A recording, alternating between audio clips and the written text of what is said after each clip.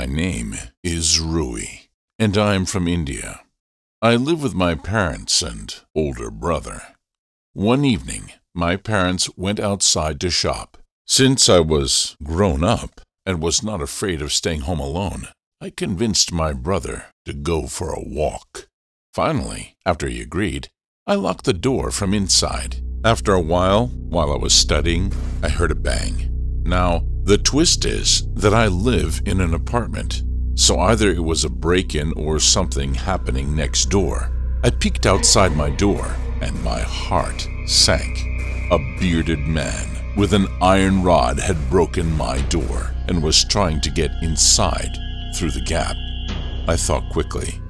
I had been watching Wansee Entertainment and I knew what to do. I could have chosen my brother's room as it had the best lock, but I chose to stay in my room as it had some weapons. Since the man had managed to get in, I immediately locked the door, dialed the police, and grabbed a hammer, pocket knife, and compass. The police told me to hide in the room until they arrived. I didn't hide in the wardrobe because it was full of clothes. And if the man found me, there I wouldn't be able to attack him. Then I called the security office man for the apartment, but he didn't answer the phone. My first thought was that he had been killed by this maniac. Now the maniac was laughing and banging on the door. I knew the door would break soon if he used the iron rod, and his laugh didn't sound like a person. then the lock broke. Right as he was coming inside, I didn't even give him a moment and stabbed him with the compass and smashed the hammer over his head. He fell down, crying in pain.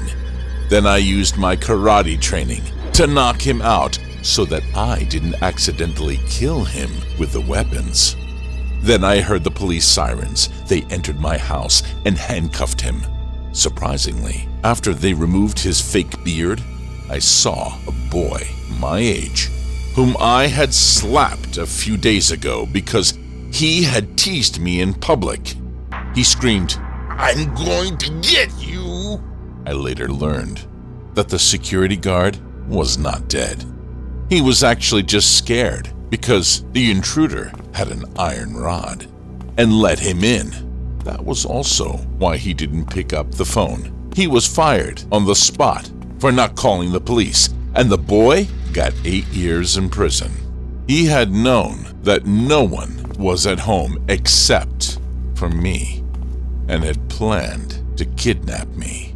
I still think, what would have happened if I hadn't kept some weapons ready? This story happened in 2010 when I was 11 years old. I was visiting my family from Poland because at the time I lived in Norway. I was very excited to meet them again since we hadn't been in Poland for a few years. When we got there, we were greeted at the door by our family. In case you're wondering, our family lives in a usual Polish apartment. When we got inside, we got to say hello to all the family that was there, including my favorite cousin. She was 13 at the time we talked a lot in her room while my parents ate with the others. I told her I wanted to go to the playground near the apartment and stay there for a while, because I get bored just sitting and talking. We asked our parents for permission, and they said yes, but not to be there for too long, probably because it was about 8 p.m. and would get dark soon. We agreed and went down to the playground. When we got there, it was very cold at the time because it was winter. We played there for about 20 minutes before we decided to go back to the house.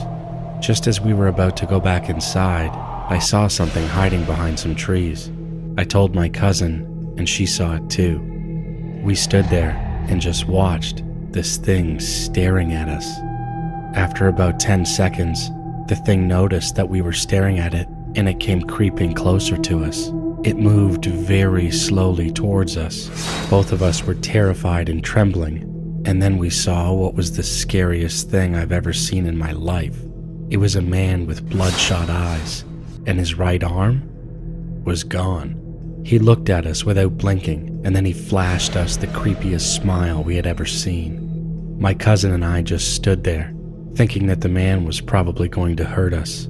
My cousin and I were frozen in fear. Suddenly, the man started moving and just walked away. We immediately ran into our grandparents' apartment, and as we got there, we calmed down, knowing we were safe. We never told anybody about this afterwards. I'm 23 years old now, and this story is still stuck in my memory.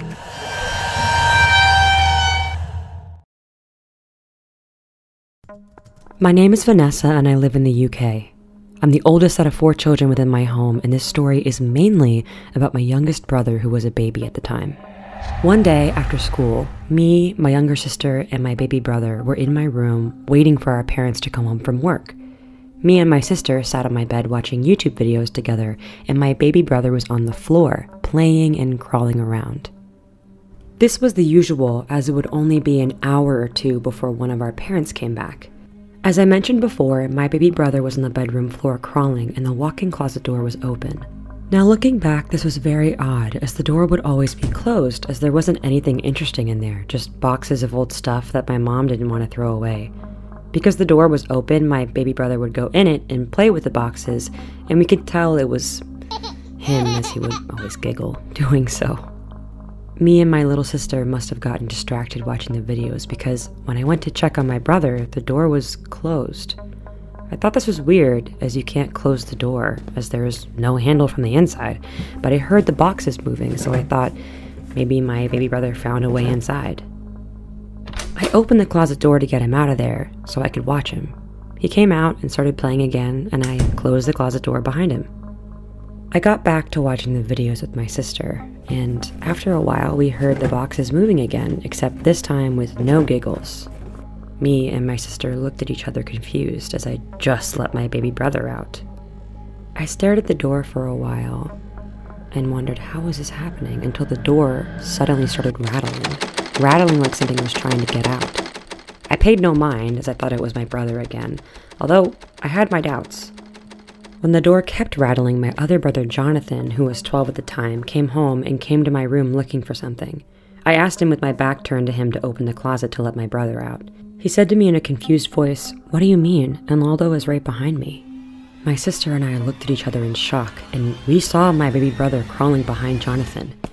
Me and my sister ran out of the room screaming and told our mother when she came home. She didn't believe us for some reason, but let's just say that I haven't opened that closet door since and it's now barricaded with a TV stand.